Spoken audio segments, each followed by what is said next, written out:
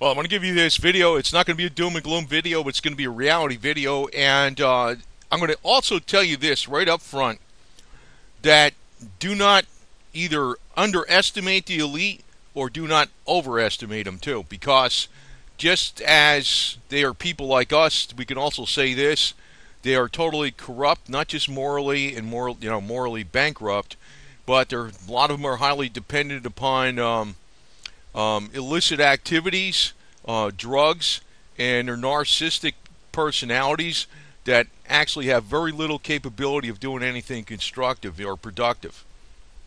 You know, they're existing upon the whims of the um, fickle controllers of the Federal Reserve and the banksters, basically. That's a lot of our elite is there, and that's where the politicians exist upon their whims.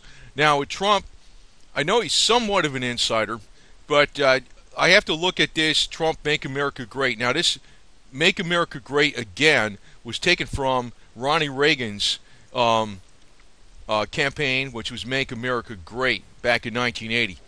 Probably some people don't remember that, but that's exactly where it came from. Um, Trump doesn't have the leeway to do what Ronnie Reagan did. And uh, Ronnie Reagan actually couldn't do what the hell he wanted to do. Um, the military industrial complex was too big, and you can also see that that's the case with Trump, that he's uh, feeding NATO a lot, right?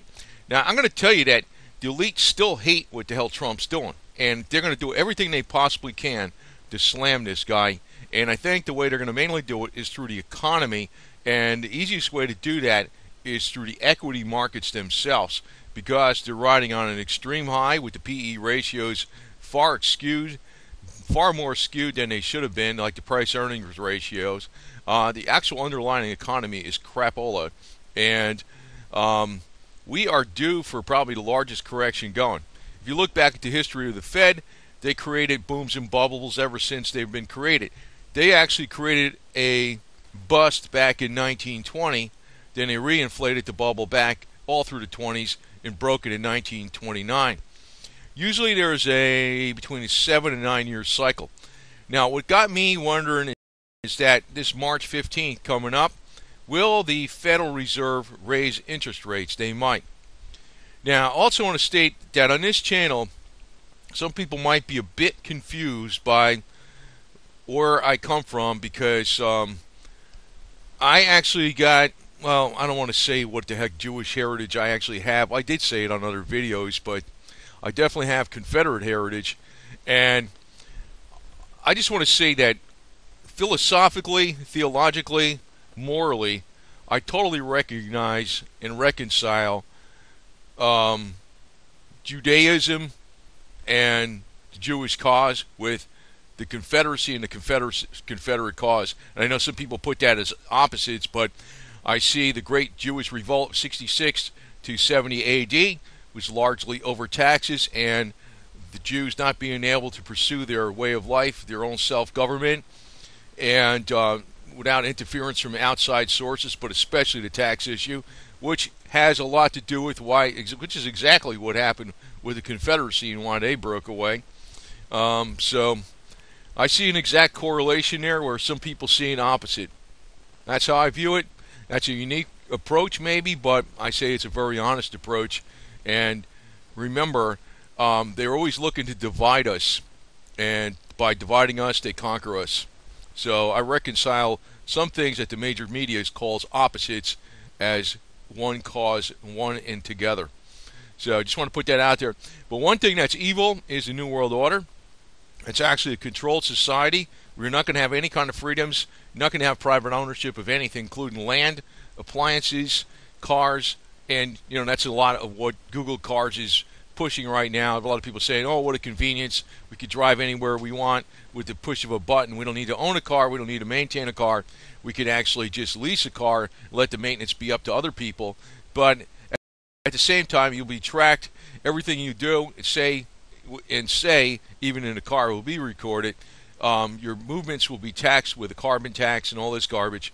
Um, basically, that's what both the Jewish nation and the Confederacy is against. It's about independence, being a way, being able to pursue your own type of beliefs and your own way of life. Um, but the hidden hand is always behind us. Um, or I think Trump, it may happen. I know there's been a lot of rumors about what the Fed's going to do. Nobody knows what the Fed's going to do. If you knew what the Fed was going to do, you'd be a concillionaire in a million, a million times over, no problem, very quickly. But I highly suspect, I'm not 100% sure, but I highly suspect that the Federal Reserve might raise interest rates March 15, 2017. If that's the case, you're going to see the market start tumbling down, and you're also going to see palladium start coming down because it's highly industrial. As far as gold, gold may go up. Uh, now, I think palladium eventually is going to be worth more than gold, but in the short term, you might see a buy coming up. That's just you know something unrelated to silver, but it's still in the precious markets arena. Okay.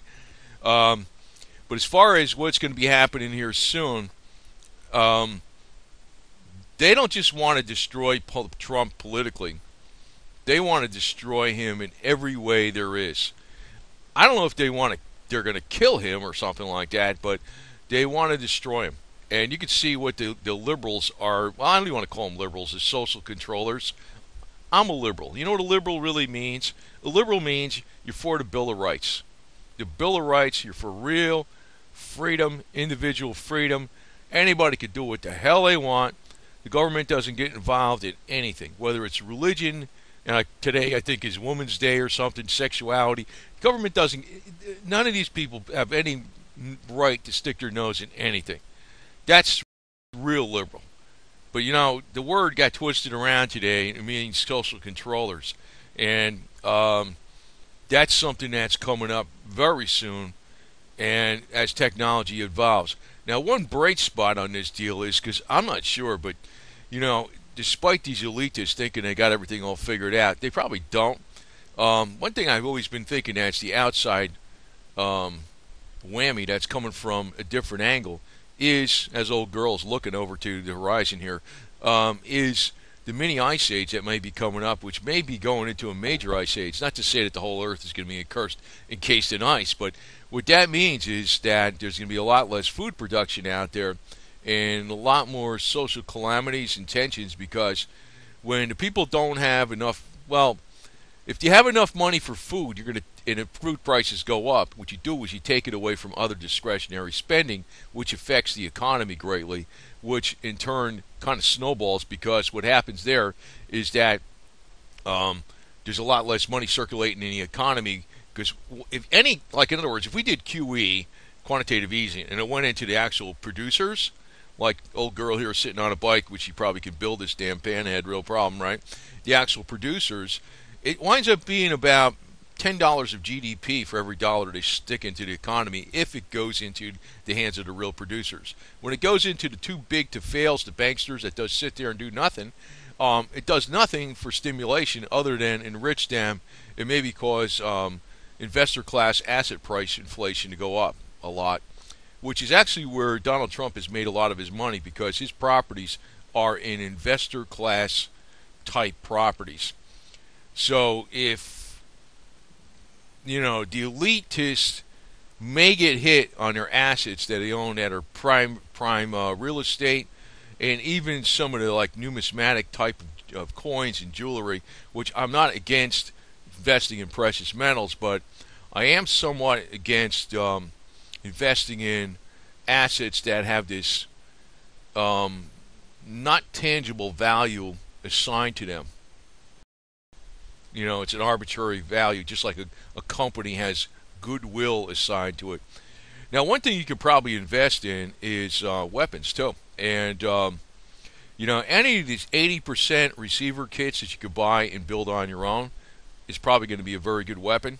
It's going to be like stealthy like a cat because I think eventually, even though they tell you that the government doesn't keep track of all the records of all the serial numbers, everybody has a weapon.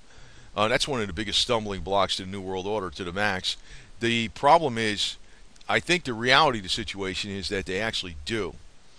Since they actually keep track of every damn thing you say, and do, and email and all your phone conversations, I'm sure they keep the serial numbers of all the weapons in this country on everybody that bought one, and even though it's supposed to be illegal, I'm sure they got those records. So what you probably want to do is build stealth 80% wep- uh, weapon uh, weapons from 80% receivers. You know, they got the Colt 1911, got the AR-15, uh, you got that Ruger 22. Uh, I think there's a Glock out there that you can build and stuff like that. So, but um, there's plenty that I really don't tell you on this channel 100% because um, there's just too much. And a lot of times my videos go quite a bit longer than I expect because I try to, you know, instead of putting out 20 freaking different videos, which some people do to grab attention and get the giddy minds out there, I try to give you a lot of information in one video. But I think that I'm almost 110%. Well, I don't know if it's going to come out on March 15th. That's not 100% sure. It may be. It's rumored that the Fed is going to raise interest rates March 15th, 2017. It's rumored. It may not be. It may not, it may be, be a small thing, but even if they do a small thing, that might be the beginning of the end of the markets. You know, going higher. They'll be. I already think that they're starting to tumble as it is. I was surprised they went over 20,000, but there's a limit, and the one way to really kill Trump is, you know, politically, but also financially, is to destroy the capital that's available for people to reinvest in this country. Um, and there's no room for raising taxes. We're at the debt ceiling. There's nothing he could do to stop, you know, the thing going from over 20 trillion debt in the United States, which is actually probably 80 trillion with the unfunded liabilities. So we're on the road to ruin, no matter one way or the other. But the thing is, even if you're on the road to ruin, you know, you got to look at you got to look positive because even if you say, like, give you an example, say there's a destroyed building. You know, there's a fine, nice brick building out there, and it just got blown up. They're just giving a hypothetical example. And you're like, oh, the building blew up. Oh, I got nowhere to live. The building's all destroyed. Well, if you start taking each brick and you start laying them upon each other, and you you get some mortar or whatever. Even if you don't have mortar, you make you make some, your own mortar from a type of clay, and you start putting those bricks upon each other. Before you know it, you rebuilt the building. But if you just sit there and you cry about it, nothing's going to happen. That's and that's why I'm kind of really against these doom and gloom videos quite a bit, quite a bit because I realize you got to keep this positive attitude, but then the reality of it is you can't have a positive dream-like attitude where you're not facing reality. You know, if we're going over a cliff or something like that economically and you know, you just figure you're going to float to the bottom and nothing's going to happen. You don't want to grab that parachute, which could be silver or gold. Well, guess what? You're going to hit the bottom and go splat. That's the problem, right?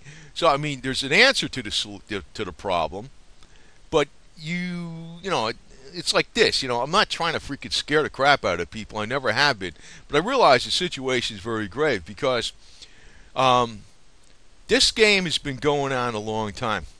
As a matter of fact, I'd, I'd say since the end of the war between the states is when the central banks really started cementing their control under Abe Lincoln.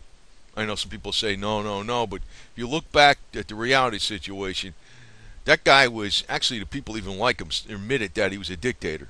Um, you know, he was the guy that basically started the military-industrial complex in a modern sense, as acknowledged by J.P. Morgan back when J.P. Morgan was 27 years old and this was that was in 1864, as I put out another video.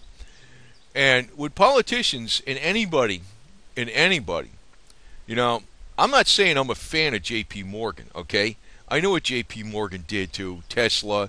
I know what J.P. Morgan did to facilitate the crash in the markets where he greatly facilitate he greatly benefited back not in, not just in 1929 but also in 1908 the panic of 1908 1909 but um, and also he was in, he was uh, one of the people that planned the Federal Reserve, which is totalitarian and absolutely unconstitutional.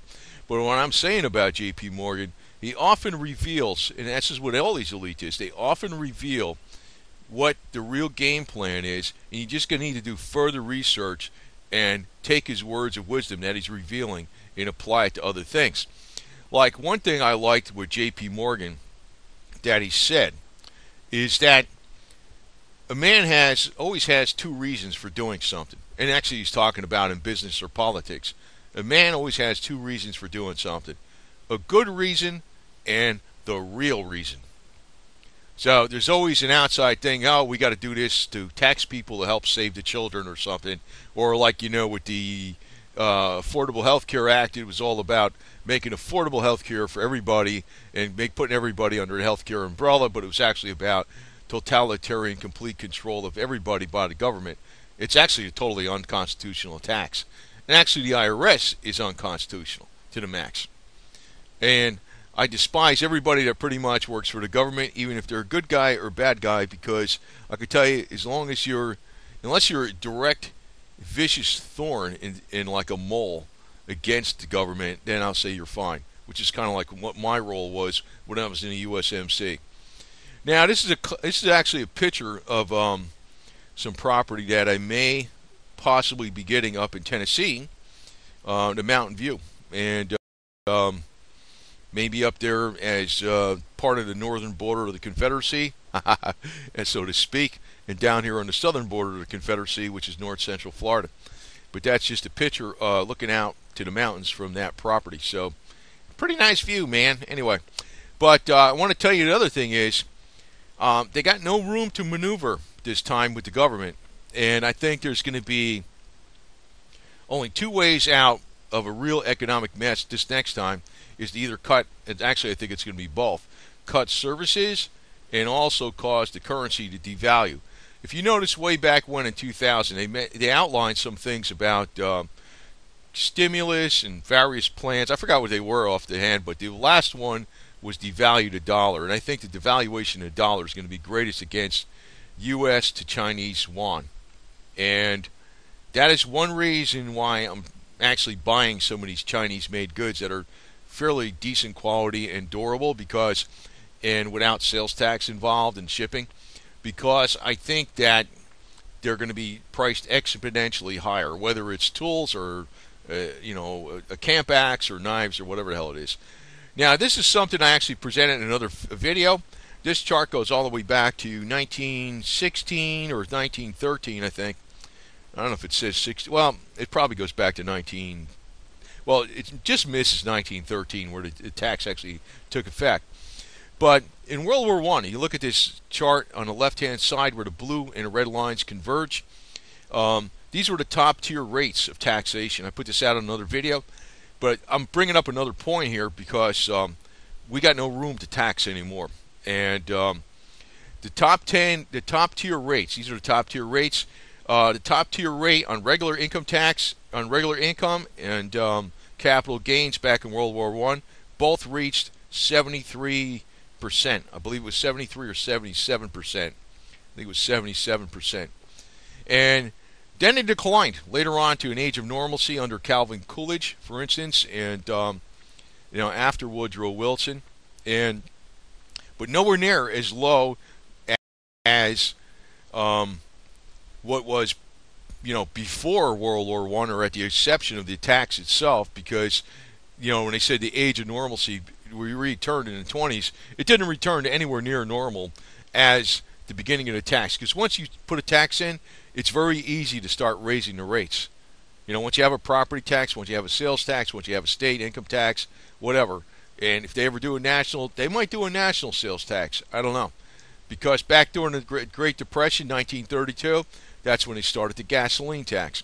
Now you look what happened during the Great Depression. Boom, rates went way up. Now this is the upper tier, but back in 1945, the upper tier actually reached upper tier of ordinary income reached 94%.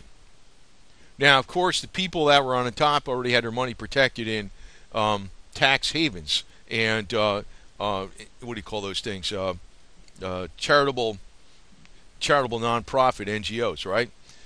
Now, here you look later, the tax rates are much, much, much, much, much, much lower, right? They were even declining during the Vietnam era for the most part, except for maybe capital gains, which was, um, well, capital gains had a spike over here in the late 70s due to the oil prices and gold and stuff going up. They actually did an excise tax capital gains tax on oil. But uh, how was uh, Vietnam War and other wars, I, Iraq War and the Gulf uh, Gulf War and um, Desert Storm all funded later on through running deficits? How was the Reagan big buildup? And I'm not anti-Reagan, but the, the Reagan big buildup of the military all through deficits. Trump's trying to same do the same thing, build up the military, and also build up our infrastructure. And you know, I'm I'm fine with the wall, but the wall's going to cost some money. Um, I know what I'd do instead of the wall, but I don't want to say it on YouTube. But uh, the deal is, he's not going to be able to do it. Now, there's a theory sometimes some people think they want to kill this guy. He, they might, they might. I don't know. But then again, it might be more advantageous to them to try to ruin him, not just politically, but also his fortune. And if any psych can get a hold of him and administer any kind of drugs clandestinely, they could screw him up big time. Oh, big time because um, one of the most famous drugs they used to use in the Soviet Union, even in small doses, Haldol, will totally destroy, or even in very, very small doses, which could be administered through the skin, totally destroy your commitment to your ideals.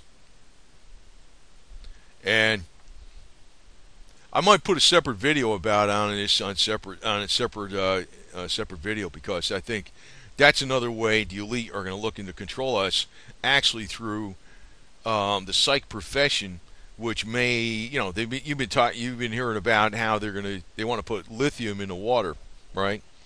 Well, that's one reason you need to purify all your water too, because it has fluoride in it, and who the hell knows what else kind of crap they put in it. And actually, I can go on a, a tangent and tell you that, you know, even the chlorine bleach that they put in the water is actually very toxic to the body. It is. Um, there's plenty of research from Hulda Clark, the quote unquote alternative um, researcher who actually dealt with some of the right frequencies too, that even tap water that you drink that even doesn't contain fluoride has a number of chemicals in it that are very dangerous to your overall health. One reason I got well water, but um, I plan to have well water up in Tennessee. I know there will be up there too.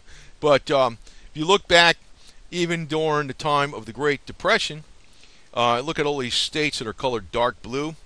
Um, all the ones in dark blue. I don't know how many there are. 1, 2, three, is that 2, 4, 6, 8, 10, 12, 14, 16, 18, 20, 22, 23, something, 23, 24, or something like that. 23 or 24 states, um, or well, Hawaii is definitely 24 or 25, um, all brought about a sales tax to keep the governments from going under during the Great Depression. What I think is coming up is well, it's probably going to be just as bad as that, but the way they're going to get out of it is through inflation. You know, um, it might be a total opposite to strategy. Like back in the 1930s, what they did is they tightened their money supply and they taxed the crap out of people. that really helped the economy. Oh God! And you know, they never got out of the mode where you couldn't. Um, after prohibition was repealed in 1933, they still made it impossible virtually impossible through regulatory fees to make your own gasoline from from uh, corn or hemp or anything like. Well, you can't grow hemp even, right? Actually, you get ten times more hemp uh, from, gasoline from hemp. But that's what that's you know.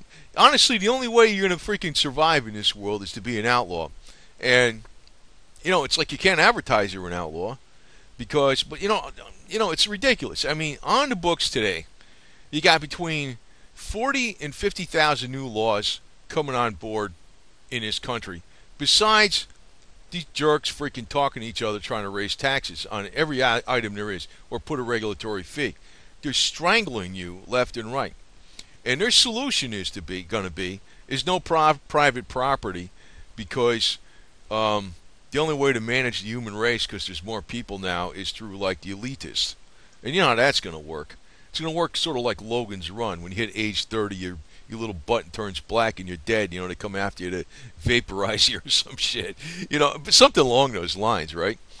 Uh, personally, I'm going to tell you what I think, though.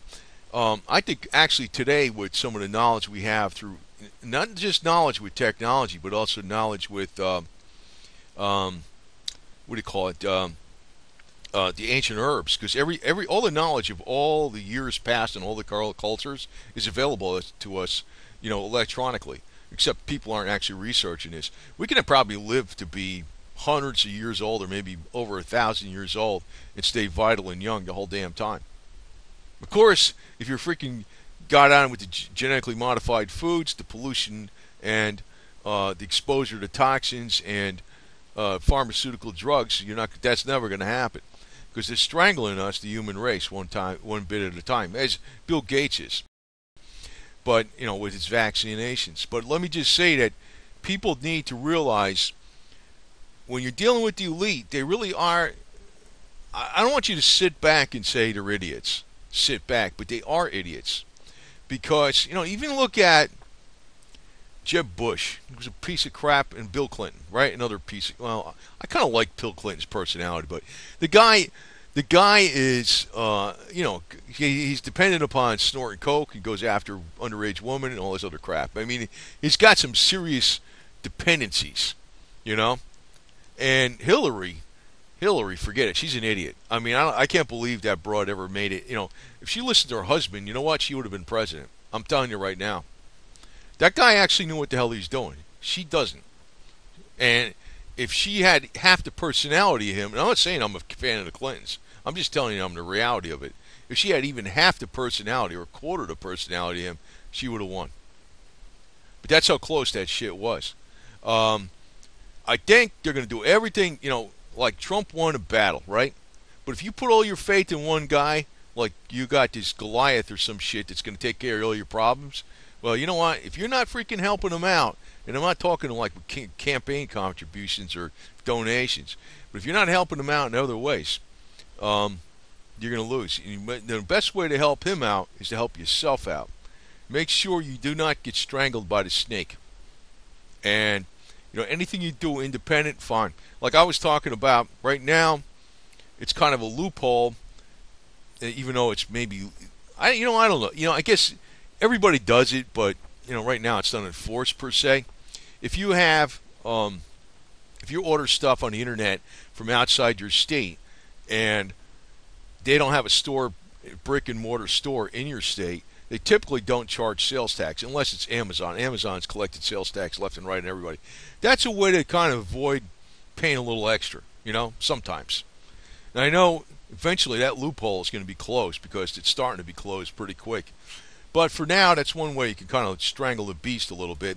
But the other way is to, uh, you know, uh, you know, not not buy into any of this crap that these people tell you they're going to do, because the game is they want to stick their nose in something, and once they get something established, like the income tax, you know, it sounds kind of like cliche. Oh, the income tax. Well, you know what? That's freaking blatant theft, man. That's like somebody coming in saying, "Hey, here's your check," and I took it. Thank you and people going along with this shit because they gave you just like J.P. Morgan said, a man or politician or you know whatever has two reasons for doing everything. There's a good reason, which is the one they tell people, which sounds good, and there's the real reason. The real reason why they started this income tax was so when they got people, they knew World War One was coming up. World War One was a way to make certain people extremely wealthy. And actually, since we lost the war with the, in with the North, um, I can tell you that the United States has been on a downhill slide ever since then, because the the cause of the South was about 1776 all over again. I think people need to. You see, I put this out, and I know what I know what happens. Most vast majority of people that are silver channels, like they're bloggers, like there's only one out there that, that sticks with me. Is Victory Report. He's the only guy. Everybody else, they SGT Bull. He went as soon as I put something out about the Confederacy, he's gone, right? But you know what? I, I know the truth, and you know what the deal is. I'm going to tell you that um, I think that eventually the truth is going to come out, but once it becomes popular, it becomes lame. You know, it's about the right to self-government, the right to pursue your own way of life, to do your own thing, and not to be taxed by an outside authority that isn't. It's against you. You know, that's exactly why how I reconcile uh, the Confederate cause of 1861 1865 eh, with the Jewish revolt of 18 of 66 AD to 70 AD, which of course in 69 70 AD was the year of the Rome, four Roman empires. Where Roman emperors uh, Galba, Vespasian, Vitellius, and Vespasian, which caused Rome a lot of turmoil itself. But you know, it's that's going off on a tangent. But let me just say that they're going to go after Trump every which way from Sunday, and they're going to do it through the economy. They're definitely going to do it through the economy. So even now, I'm an advocate of buying stuff made in this country. I don't buy everything made in this country. That's one strategy because I realize the exchange rate between China and the United States is probably going to change drastically sometime during the Trump administration. And you're going to find out some of these durable goods that were very affordable, that were decent quality Chinese, are not going to be affordable anymore. And they're going to be through the stratosphere if they're made here. In the meantime, you can make very good use out of these goods. So, anyway, over and out. Just want to tell you, warn you up ahead that it could be on March 15th you might start seeing the slide in the markets. I kind of hope not because, uh, uh, you know, I'm actually looking to get secure some property here pretty soon, and uh, but that could be a bargaining chip for me if you know I see the market slide because I could tell the guy, hey, you know, the markets are sliding. There's less capital out there. Money, people don't have money, and whatever. So I'm going to try to make a deal on that Tennessee property. Over now.